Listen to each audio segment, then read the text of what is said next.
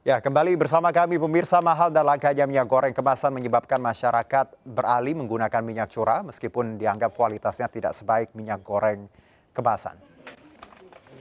Ya, minyak goreng curah dan minyak goreng kemasan sama-sama berasal dari tanaman sawit sehingga keduanya melalui pengolahan pabrik.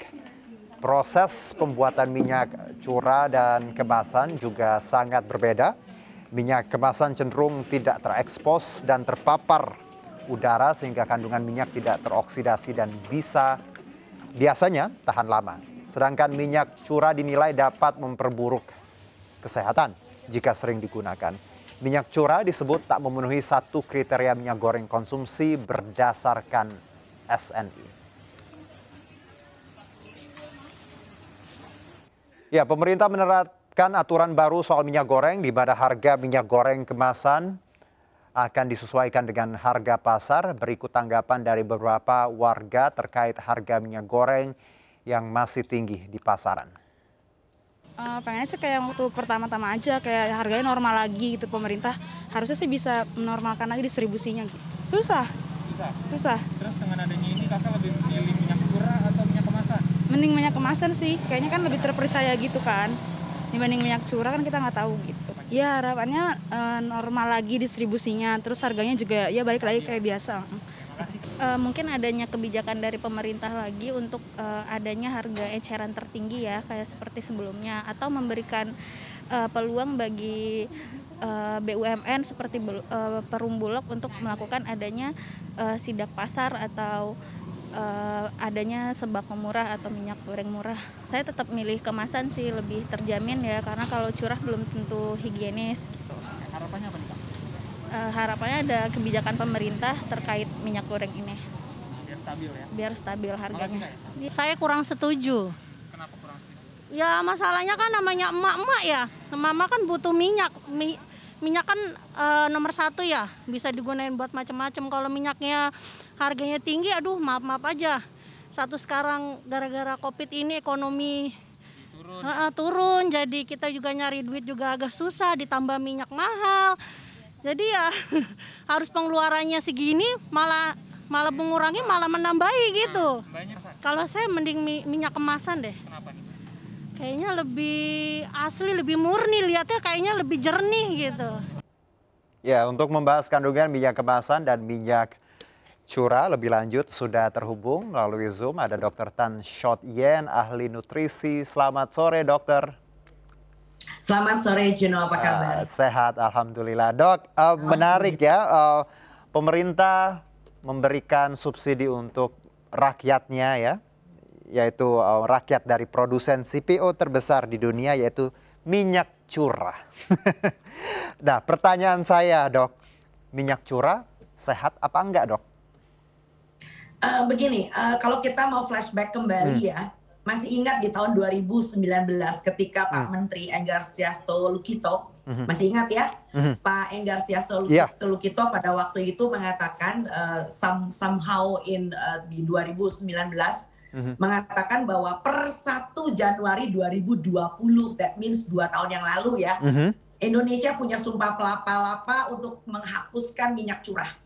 Bahkan beliau mengeluarkan beberapa statement yang menurut saya, wow, kencang juga ya. Okay. ya lalu mengatakan bahwa minyak curah itu dalam minyak yang memang tidak layak dikonsumsi. Mm ya saya masih ingat banget tuh ya saya agak sedikit senang pada waktu itu saya hmm. mengatakan wow lumayan juga punya pemerintah model begini yeah. nah yang menarik adalah memang betul banget yang namanya minyak curah itu kan hanya Tuhan sama dia yang tahu asalnya dari mana ya kan jadi okay. isinya kan nggak jelas nggak ada hmm. mereknya nggak ada siapa yang bertanggung jawab hmm. bahkan disinyalir itu merupakan uh, apa namanya kumpulan tampungan dari minyak bekas dalam tanda kutip hmm minyak bekas dari apa namanya outlet-outlet uh, uh, cepat saji, dari hotel, dari restoran dan sebagainya okay. yang diolah kembali, mm. yang oleh siapa hanya Tuhan yang tahu siapa yang mengolah, mm-hmm. lalu kemudian dijual eceran dalam bentuk kemasan-kemasan yang ya apa adanya gitu okay. ya. Nah itu yang pertama dari minyak curah. Jadi jelas minyak curah itu adalah minyak yang tidak bisa kita kita pertanggungjawabkan. Mm-hmm. Baik, kalau kalau kita bandingkan, uh, dok, kenapa kita harus atau tidak um, at least lebih baik menye, apa, menggunakan atau mengkonsumsi minyak kemasan? Kenapa dok? Eh, saya tidak mengatakan lebih baik. Oke, ya better ya, less less oil ya, karena kita ya tadi. uh, Right, I know, uh, I know. I know. Saya melihatnya dari Uh. sudut pandang yang lain ya. Uh. Sudut pandang yang lain bahwa minyak kemasan ini adalah kita sebut sebagai produk rafinasi.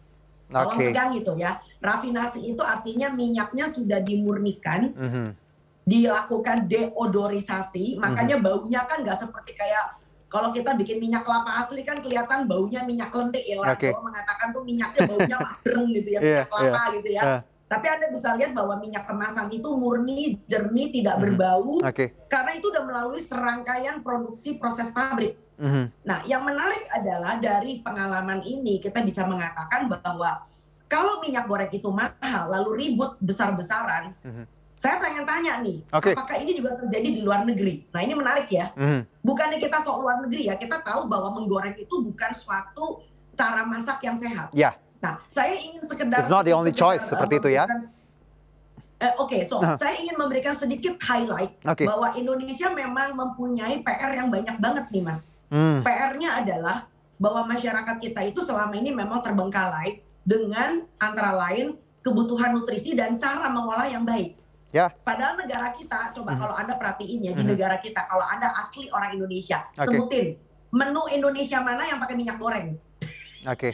Itu semua adalah Many. turunan dari apa namanya eh, eh, eh, resep-resep dari negeri seberang Uh-huh. crispy chicken Eh. ya lalu kemudian whatever Nah, bahkan yang lebih konyol kalau misalnya contoh misalnya anda menggoreng ikan ya Eh. ikan kembung kita tahu omega 3 nya tinggi ya Oke. anda anda anda goreng ya ikan kembung goreng anda tahu nggak kekonyolannya Mhm. omega 3 nya berubah menjadi trans fat Ya.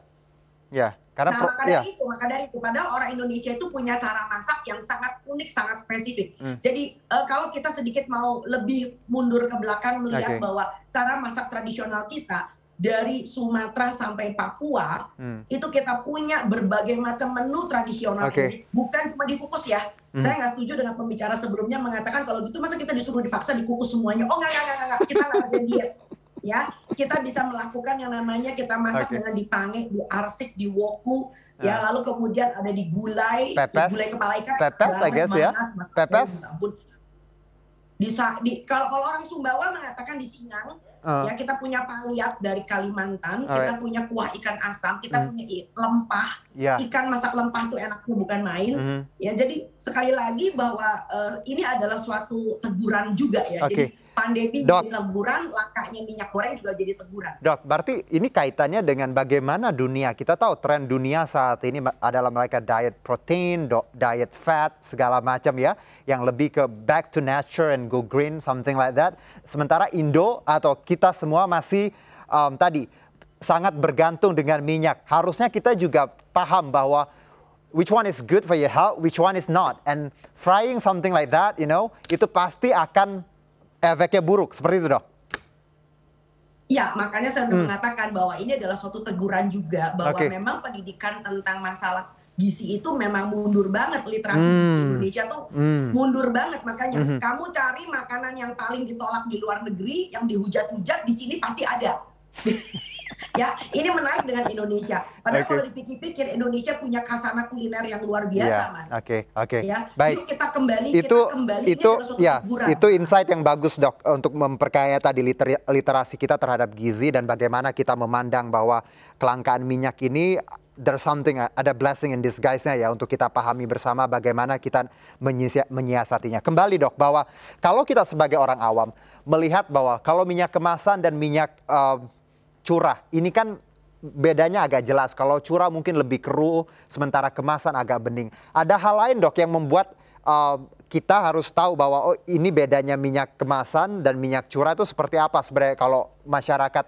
ingin lebih lagi memahami. ya yang pasti yang namanya minyak rafinasi punya merek atau ya Oke.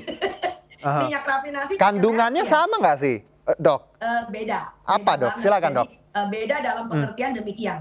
Eh, yang namanya minyak rafinasi atau minyak kemasan itu pasti sudah pure, sudah murni. Oke. Bahkan dikatakan bahwa disuling sekian kali, ya kan dimurnikan sekian Ya, kali. ya sering itu jadi tagline untuk mereka memasarkan ya. Betul. Aha. Bahkan ada yang difortifikasi, Mhm. difortifikasi dengan vitamin A, difortifikasi dengan omega 6 dan sebagainya, Mhm, mhm. gitu loh ya. Nah, sedangkan yang namanya minyak keruh, nah kita mengatakannya minyak curah itu kayak minyak keruh ya. Mhm. Itu pasti di dalamnya masih ada yang sifatnya uh, impurity ya. Impurity itu adalah uh, kandungan-kandungan yang mestinya tidak selayaknya ada di dalam minyak yang dipakai buat dikonsumsi. Oke. Ya, sebab kita tahu bahwa yang disebut dengan minyak curah itu kan bukan berarti itu minyak eh, eh, eh, apa minyak yang baru diproduksi. Bisa Oke. jadi itu adalah merupakan minyak sisa Hmm. yang dulunya pernah dipakai yang saya udah bilang tadi ya. Iya. Jadi dari eh, sisa dari gorengan hotel kan kalau orang-orang sugih tajir melintir itu kan nggak mau pakai minyak goreng dua kali cie. Satu kali goreng buang, satu kali goreng buang. Jadi hotel-hotel yang bintangnya bertaburan itu barangkali akan menjaga mutu.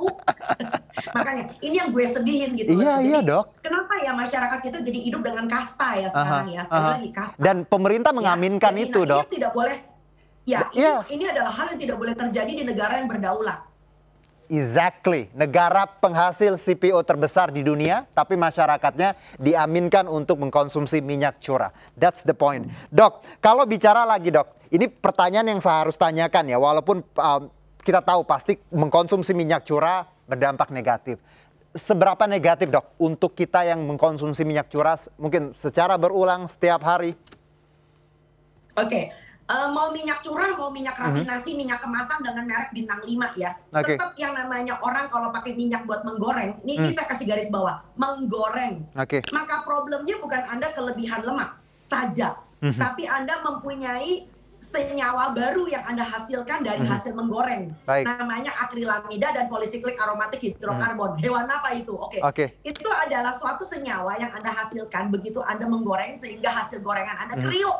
Oke. Ya, entah itu ayam, entah itu ubi Dok. goreng atau bakwan goreng atau Iya. as simple as banana fritters gitu Oke. ya. Jadi artinya ini adalah senyawa yang sebetulnya badan kita tidak butuhkan. Baik. Dan senyawa ini kalau kita konsumsi berulang maka dia potensial menyebabkan kerusakan pada pembuluh darah dan tentu Mhm. saja at the end point-nya ini adalah bicara tentang soal kanker. Baik. In the in in the past di masa lalu Mhm. minyak itu di, bagi orang Indonesia itu adalah kondimen mas. Oke. Kondimen itu Dokter. artinya bagian dari bumbu. I got your Makanya kamu points. bikin sambal dabu-dabu. Iya. Sayang sekali waktu kita terbatas. Saya pengen ngobrol lebih banyak, tapi kita harus bergabung dengan uh, DPR. Kita lihat bagaimana argumentasi Iya. dari Mendak terkait uh, tadi harga minyak dan segala macam. Dokter, terima kasih sehat-sehat untuk dokter terus mengedukasi ya dok ya. Terima kasih dokter. Salam sehat. Dan kita akan langsung ber- kembali bergabung bersama uh, gedung DPR RI untuk mendengarkan rapat Komisi 6 dengan Kementerian Perdagangan berikut. Sekarang pertanyaannya adalah kita kembalikan. Apa artinya ada kebijakan kita ini menjadi produsen kelapa sawit terbesar kalau tetap menikmati mekanisme pasar. Berarti sama saja tanah yang dipakai untuk oleh para pengusaha sawit itu adalah tanah dia bukan tanah negara. Selama 80 tahun jadi tukang tanam. Kalau dia itu tanahnya dia, boleh dengan alasan seperti itu. Jadi yang terakhir saya menginginkan mengingatkan, saya tidak setuju kalau seandainya kebijakan yang kemasan itu digunakan dengan harga mekanisme pasar. Sebetulnya dalam kehadiran negara itu adalah keseimbangan. Ketika rakyat itu sudah mampu lagi membeli daya beli, maka ada keseimbangan. Kalau gula ibu bapak tekan sampai 12.500, tapi kalau sawit kenapa dilepas? Lagi-lagi negara ini adalah membuat sulit petani dan membuat sulit petani tebu dan membuat sulit konsumen, tapi memanjakan pengusaha kelapa sawit. Sekali lagi memanjakan pengusaha kelapa sawit. Dari kelapa sawitnya saja satu hektar dengan asumsi 2 ton dia mendapatkan 7 juta dengan harga 3.500 3.600 sekarang belum dikonversi menjadi CPO belum dikonversi menjadi kelapa sawit. Pak Rudi Hartono ini punya kebun pasti paham tentang angka itu. Berapa kenikmatan yang dinikmati oleh pengusaha itu. Dan ini justru tidak ditekan tapi malah dikasih kesempatan untuk layan lebih anu, terakhir. Yang terakhir atas dasar apa? Membuat HET minyak curah itu 14 ribu Kemudian Kan tidak ada subsidi. Atas dasar apa? Kemudian tiba-tiba muncul 24 ribu. Saya mau tanya, ongkos packaging itu berapa? Saya udah tanya paling tinggi 1.500. Kalau harusnya harga curah itu 14.000 dengan asumsi minyak yang sama, berarti harga yang yang packaging harusnya itu adalah maksimal 16.000 bukan 24.000 26.000 sekian terima kasih Pak pimpinan saya berdoa ya kan semoga doanya Nabi Muhammad Shallallahu Alaihi Wasallam yang soal kepada pemimpin tadi tidak menimpa kita semua termasuk menimpa kita sebagai wakil rakyat senantiasa kita berjuang untuk tidak mempersulit rakyat tapi ingin mengangkat harkat dan martabatnya rakyat. Sekian terima kasih. Wabillahi taufik wal hidayah. Barang siapa dekat Pak Taufik insya Allah banyak hadiah. Assalamualaikum warahmatullahi wabarakatuh. Boleh saya jawab Pimpinan? Izin. Uh, nanti Pak. Kenapa? Nanti aja Pak.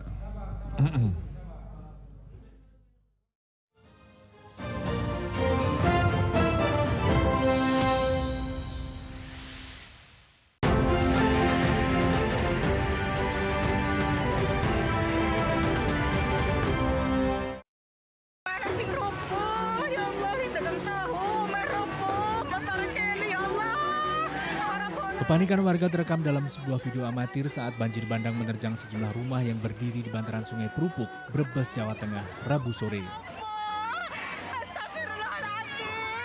Akhirnya karena tak kuat menahan arus banjir bandang luapan sungai Perupuk, lima rumah warga rusak parah dan hanyut terseret banjir. Beruntung pemilik rumah bisa menyelamatkan diri saat air sungai Perupuk mulai meninggi. Menurut data dari pemerintah desa setempat, banjir bandang Sungai Perupuk membuat 8 rumah warga di bantaran sungai rusak. Lima di antaranya roboh dan hanyut diterjang banjir. Selain merusak bangunan, banjir juga menghanyutkan 8 sepeda motor milik warga. Petugas BBBD dan Satpol PP mengevakuasi puluhan warga korban banjir ke lokasi pengungsian di sebuah madrasah. Hingga Rabu malam, petugas telah melakukan penanganan darurat di lokasi pengungsian dan membersihkan jalan desa dari lumpur dan material yang terbawa banjir. Rabu malam banjir bandang telah surut, namun warga korban banjir memilih tinggal di tempat pengungsian. Para pengungsi membutuhkan bantuan makanan terutama untuk anak dan balita. Setelah beberapa kali mangkir dari panggilan penyidik, Tersangka KGS MMS akhirnya dijemput paksa penyidik Jampitsus Kejaksaan Agung dan penyidik Puspom Angkatan Darat Rabu malam. KGS MMS merupakan tersangka kasus dugaan korupsi dana tabungan wajib perumahan TNI Angkatan Darat. Kepala Pusat Penerangan Hukum Kejaksaan Agung Ketut Sumedana menjelaskan, tersangka KGS MMS berperan sebagai penyedia lahan seluas 17 hektar untuk proyek pembangunan rumah prajurit TNI Angkatan Darat di Palembang, Sumatera Selatan. Namun lahan yang diberikan ternyata fiktif. Selain itu, tersangka juga menyediakan lahan yang tak sesuai pengadaannya di wilayah Nagrek, Jawa Barat. Dari 40 hektar lahan yang diperlukan, hanya terrealisasi 17 hektar. Saat ini tersangka ditahan di Rutan Salemba, cabang Kejaksaan Agung.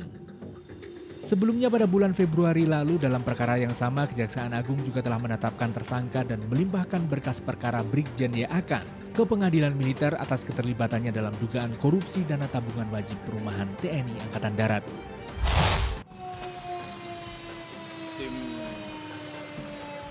pemadam baru datang. Minibus ini terbakar hebat setelah mengalami kecelakaan tunggal menabrak pohon di Jalan Paku Buwono Raya, Kebayoran Lama, Jakarta Selatan, Kamis dini hari tadi. Api yang berasal dari bagian mesin kemudian membesar dan membakar hebat seluruh bagian badan minibus. Pengemudi minibus yang diduga mabuk sempat terjepit di jok depan minibus sebelum akhirnya berhasil diselamatkan warga. Petugas dari Sudin Damkar Jakarta Selatan yang tiba di lokasi langsung berupaya memadamkan api.